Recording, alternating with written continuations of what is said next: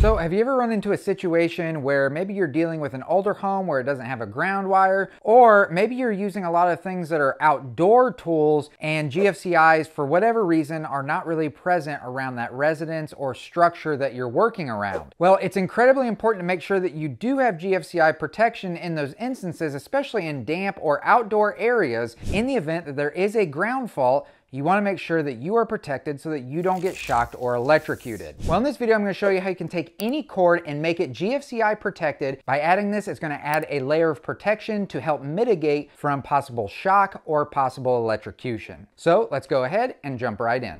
All right, so here is your standard extension cord. Obviously, they come in a bunch of different shapes and sizes. It can be an appliance cord. It does not matter any cord that you're wanting to get GFCI protection for, this is going to work for. In this case, I don't have a damaged cord on this end or anything. So in order to make this work, you would need to lop off or cut off this male end. So I can very easily do that by using these wire strippers here, put them in the cutting section, and just cut it off like so. Then after that's cut off, we'll need to remove some of the sheathing from the cable to expose the wires that are inside. For this particular install, there really doesn't need to be a whole lot that is taken off. We definitely don't want to take it down too far because we don't want any exposed wires coming out of the bottom of our GFCI plug. And one way we can tell how much insulation needs to be removed is on this GFCI plug.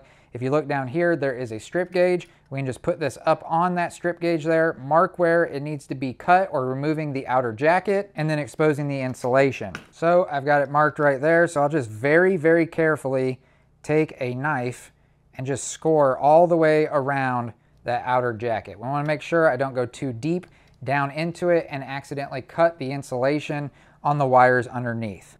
And then we just pull that outer jacket off and there are exposed wires.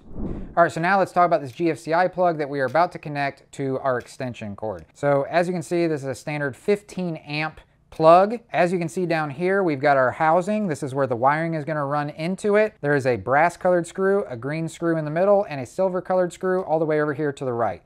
Brass is for hot, green is for ground, and the silver screw is for the neutral wire.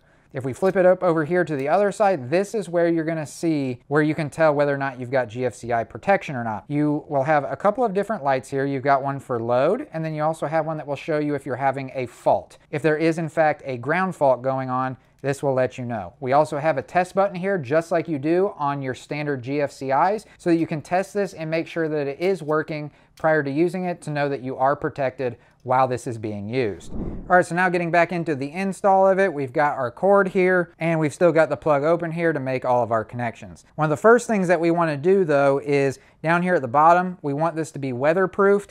Depending on the size of your cord, you've got a few different ring seals to pick from. In this case, we're gonna use this one here because that's gonna be the proper diameter for this particular cord. So the first thing we're gonna do is we're gonna take our cord, take our ring seal, we're gonna run the wires through the ring seal and then down onto the cord itself. Next, we need to remove the insulation from each one of these wires to then install on the corresponding terminal screws. And again, the way that we can tell how much insulation needs to be removed is by looking at this cover. And you'll see here for the strip gauge, you'll see where it says insulated. We wanna keep this part of the cord insulated. And then this over here, this is showing exactly how much of the wire or the copper in the wire should be exposed. So again, you can just put this up on the strip gauge, mark on the wire how much you need to remove from it.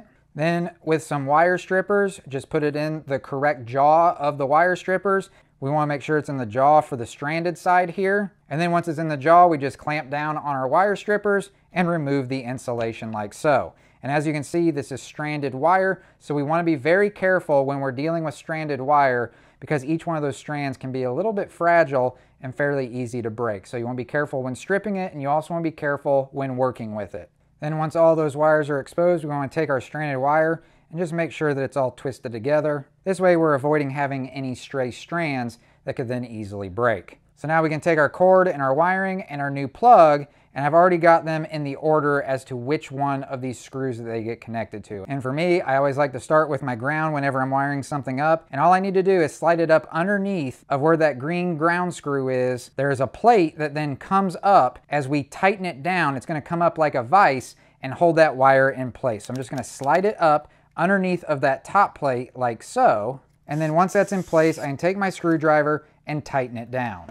And so now my ground wire is firmly in place and we have a great connection. Next, I'm gonna do the exact same thing with my white neutral, slide it up underneath of the top plate where that silver colored terminal screw is. And then same thing, now that that's in place, I can now take my screwdriver and tighten it down. And so of course, the last wire I've got is my black hot wire, same thing.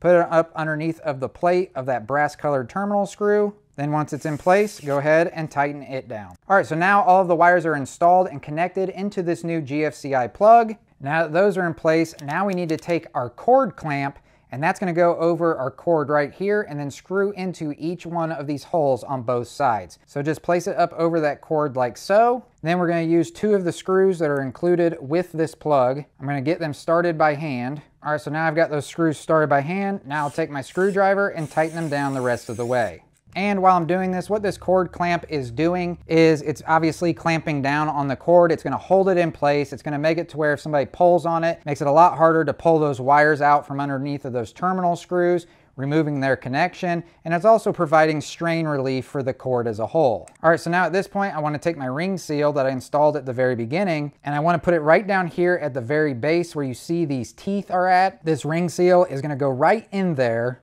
and that's gonna help give us a weather tight seal down at the bottom so it helps keep the weather out and any insects. Then once that's in place, we'll take our cover plate, set it in over the top, make sure the ring seal is setting into the top of that cover plate as well. Then once that's in place, we take the remaining screws for this, there will be four of them, and insert them into each one of those holes. And then again, once each one of the screws are in those holes, we can take our screwdriver and tighten each one of them down. All right, so there you go. Now we have a GFCI plug fully installed and wired up onto this cord here. Again, this can go on pretty much any cord, whether it's for appliances, outdoor tools, anything that might be in a wet environment that you wanna make sure that you have protection for, this can be installed on it. All right, so now just really quickly, I'll show you just briefly how this works. So I'm using an extension cord to make it easier to film. I'm gonna go ahead, plug my new plug into that extension cord. As you can see, we've got a green light that's come on. It's showing where we have a load on it. That is letting you know that this is working. The cord is being protected and letting you know, of course, that in the event that there is a ground fault, this is monitoring it. And once it detects that ground fault, it will trip this GFCI. Now, like I said, we've got this yellow button over here to the left. We can test our GFCI on it just by pushing that button. So we'll go ahead and do that now. As you can see, it successfully tripped it. It briefly blinked where it says fault. So we verified that this is in fact working. So we'll go ahead and reset it. And now it's back to showing a green light on the load side and this is back to being protected. Now, really quickly before you go, as you saw, this was a super easy install, adds a lot of protection for us. If you're someone that does not feel comfortable with doing something like this, they do also make adapters, and I'll put that up on the screen now so you kind of have an idea of what that looks like. If you just need to use something on like a temporary basis, that might be where using one of the adapters might be a good choice for you. If you just wanna make sure that you have permanent GFCI protection on specific cords, Again, especially if you're going and working on other people's homes, places where you don't know if there is protection, I would definitely, especially in that case, recommend doing more of a permanent install because a hardwired connection is always going to be better no matter what you're installing than an adapter is for instance. But again, if you're just needing it for some temporary purposes, that might be where an adapter might come in. But overall, I really recommend if you need something like this, again, it's always best to have a hardwired connection. And as you saw, it really wasn't that difficult to do and probably only took me about five to seven minutes in order to do so. But I just thought this was a really great thing to show you all, something that not a lot of people think might exist, and just another option outside of changing out a receptacle to a GFCI receptacle or even a GFCI circuit breaker. And like always, for your convenience, I'll have links for this along with the adapter and all of the tools that I used in order to install this GFCI plug. I'll have links for all of it down in the description down below. When you click on those links, it will take you directly to whatever you clicked on so that you can check this all out for yourself. Hey, really quickly, if you found value in this video, then you'll definitely find value in some videos that I did fairly recently, one of which where I go over some of the newest plugs that are out there that are super DIY friendly, very fast, very safe, and really come in handy anytime that you're building a new cord or possibly needing to repair repair one. A lot of people don't know about these newer plugs, but they really should because of how safe, fast, and DIY friendly they are. If that would be of interest to you, all you have to do is click on this video right over here. If you'd like to learn about some of the biggest mistakes that DIYers make when making connections, you can click on this video right here. But I hope that you found value in this video, and if you did, if you could do me a huge favor, hit that thumbs up button right down below. And of course, if you have any questions or comments still, you can leave those down in the comment section. And I'll catch y'all in the next one. See ya.